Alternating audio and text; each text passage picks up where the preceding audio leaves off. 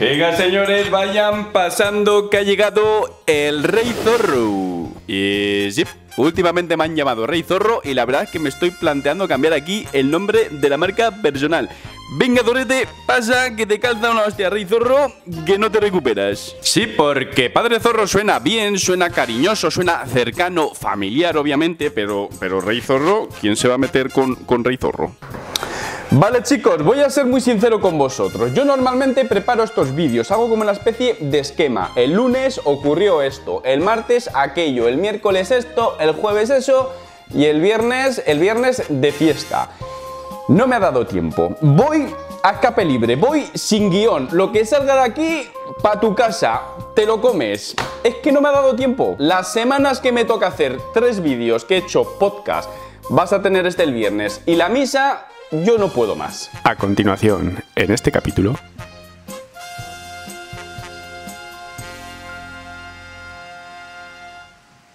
Vale, dicho esto, vamos a ver.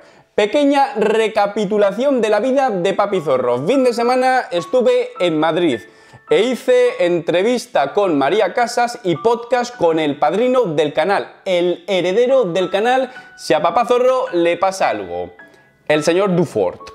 Oh, estás quedando aquí súper guapo porque ahora tienes luz así rollo del ocaso. Uh, mamá. Vale, creo que te toca, ¿no? No, te toca a ti. No, en serio, se nota una química especial. Entonces, el fin de semana estuve haciendo eso. Quedé con mi marido y con María Casas. También comí alguna que otra hamburguesa. Puede ser que sí. Después hablaremos de eso y entenderéis por qué me he puesto como una butarda. Pico de oro, come carne. pero mira qué hora. A las 4 y cuarto, qué vergüenza. mía, madre mía. Me callo ya, comenzamos con el lunes. Hay que recordar que tengo una vida bastante rutinaria y cuando me toca hacer este tipo de vídeos yo pienso, yo ya no sé qué sacar más. Sí, porque siempre te saco la puta tortilla de los huevos, le he implementado un cambio, le he hecho más queso, la puta tortilla de los huevos por la mañana, em,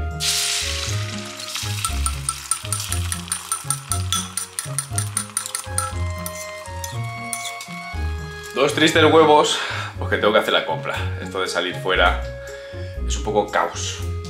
Dos tristes huevos, le vamos a poner bastante queso.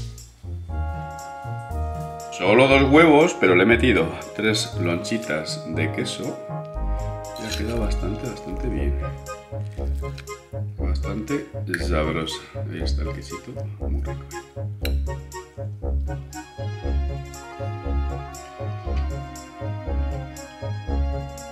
Es cierto que ahora he hecho un pequeño cambio en mi desayuno y quito las galletas anticristianas esas que me estaba metiendo por los cereales proteicos de Potencial. Es cierto, pequeño cambio.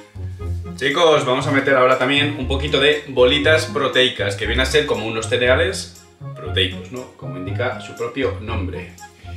23 gramos de proteína por cada 100, siendo unos cereales. Vamos a meter 50 gramitos. Tiene aspecto de garbanzos. Pero hunde mucho 50 gramos, eh. Me cago en la puta. Vamos a echar 40, que si no, no, luego no entra la leche.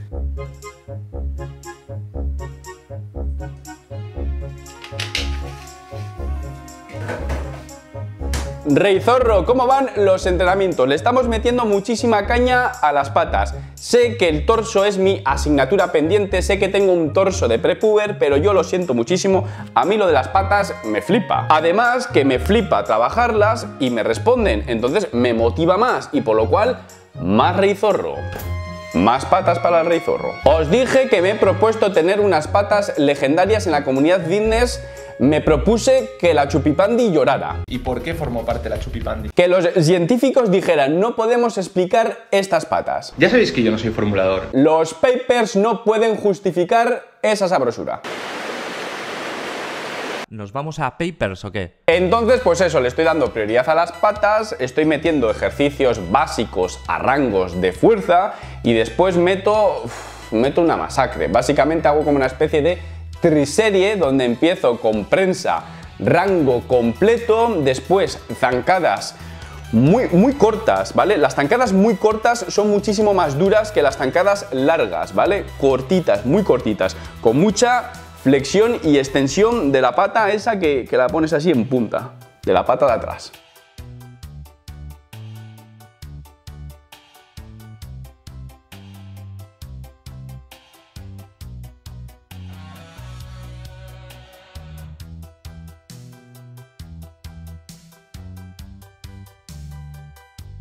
Y después prensa a una pierna. Sí que es verdad que aquí podría bajar un poco más, pero es que a una pierna me veo como que, como que se va a romper.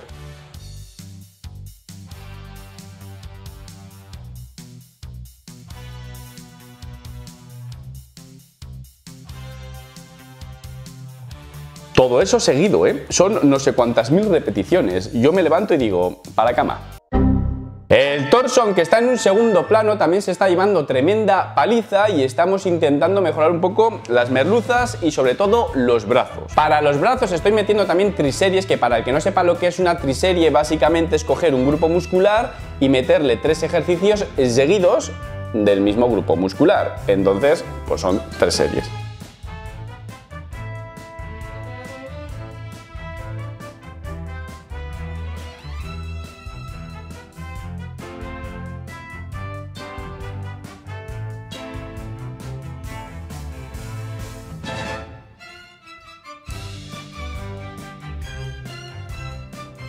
¿Nos vamos a Papers o qué?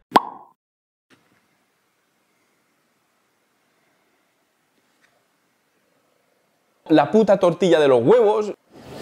Tema de alimentación. Aquí tenemos que hablar. Papizorro se ha puesto como, como, una butarda. ¿Sabes cómo te digo? O sea, yo estaba con MyFitnessPal, no patrocinio.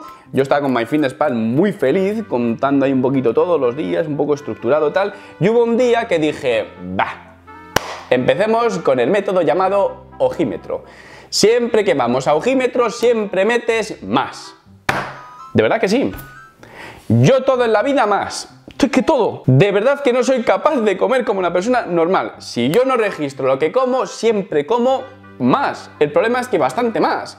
Y además es que, no me doy cuenta, macho. Normalmente te dicen, escucha tu cuerpo, tu cuerpo es sabio, tu cuerpo te indica el camino, mi cuerpo me pide más. Pero es que me pide más en todo. Yo yazco con una bella dama, termino, me quedo súper a gusto y a los 5 minutos me vuelvo a rimar. Me vuelvo a rimar ahí buscando el contacto. Y tú te preguntarás, ¿pero te apetece? Pues es que a veces ni me apetece, pero quiero más. Entonces, ¿cómo he dejado de registrar todo en MyFitnessPal? Es que me he puesto como una butarda, macho.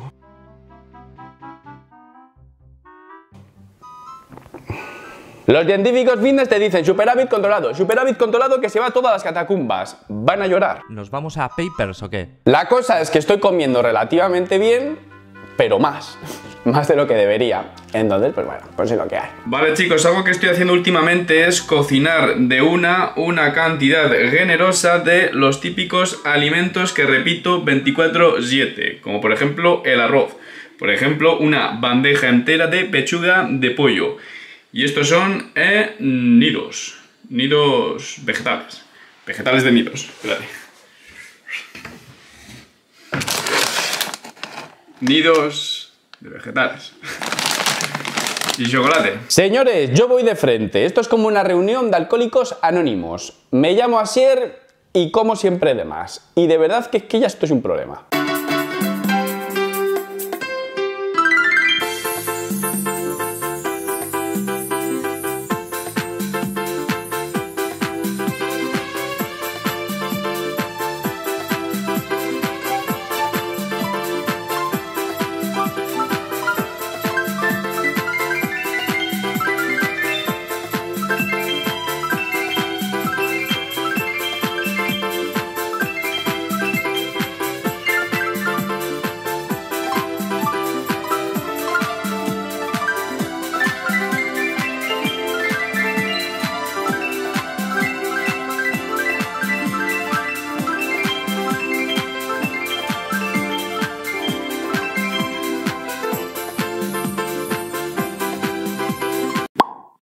Tema hábitos saludables para ser un zorrito bastante llanote. Seguimos con la exposición solar para obtener aquí en este cuerpo de abutarda un poquito de vitamina D. Sigo teniendo exposición solar a la que asoma un poco la cara el sol, ¡pum! A un banco o al río o lo que tercie, donde se pueda.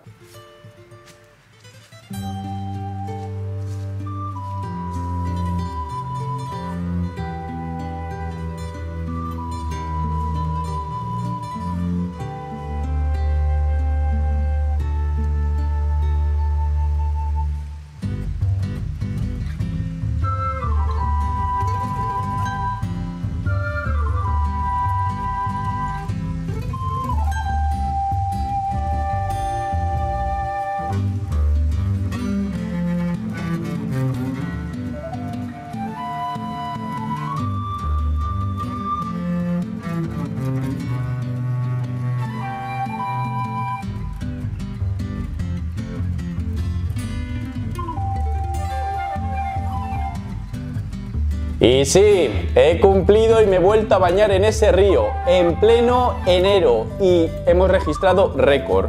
Os puedo garantizar que estaba más fría que nunca. El problema es que no pude medir la temperatura. ¿Por qué he, pedido- eh, brr, ¿por qué he perdido el cachivache ese? Miércoles 12 de enero.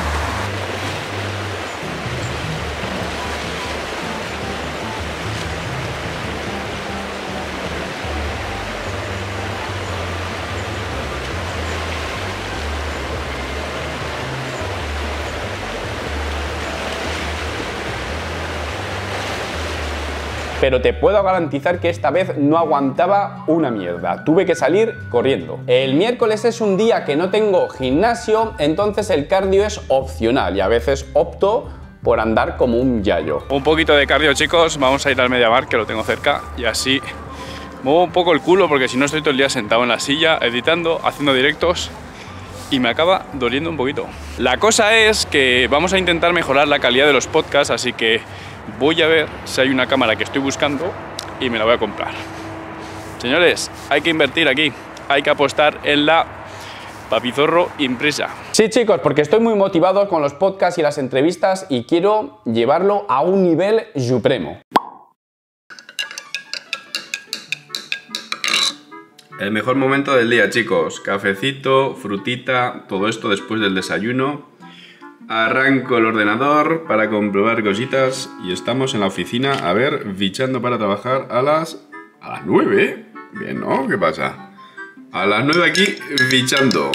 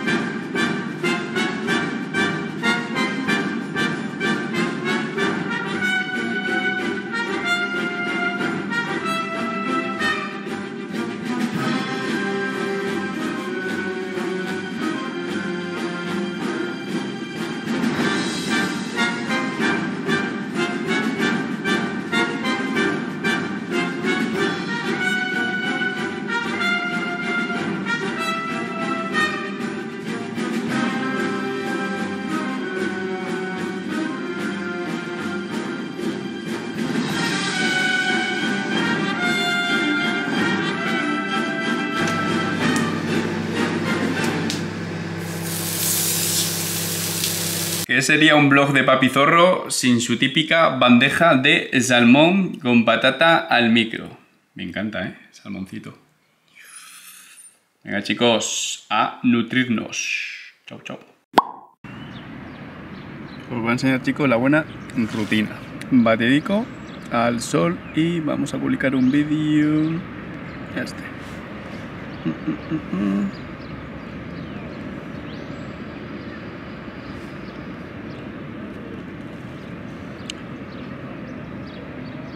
Publicado la empresa de clips generando dinero y nosotros al solecito.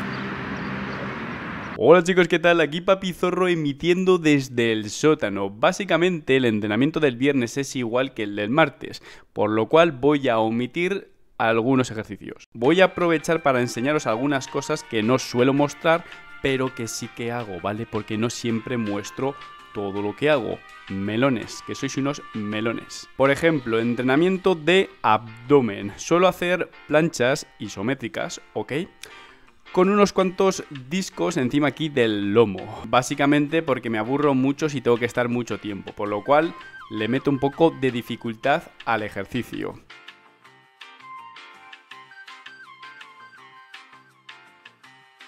Después os enseño face pull, que es un ejercicio súper cristiano que todo el mundo debería hacer y que yo debería hacer un poquito más.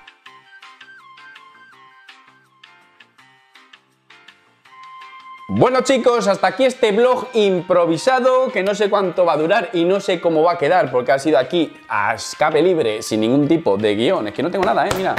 No hay ordenador, no hay nada, no hay nada aquí, lo que sale de la cabeza. Espero que os haya gustado igualmente, que os hayáis entretenido. Nos vemos en la misa más esperada, que esa sí que la prepararé con un buen guionista, ¿no? El guionista este que soy yo, pero siempre indico para arriba, producción, guionista y todas estas vainas. Nos vemos en la misa, chicos. Muchas gracias por apoyar a Papi Zorro, aunque vaya a escape libre. Y antes de iros, si no habéis visto este vídeo, os lo recomiendo. Y si queréis pertenecer al Calvo Team, el equipo que improvisa, pinchad aquí. Bueno, chicos, como siempre digo, un saludo, un abrazo y hasta luego.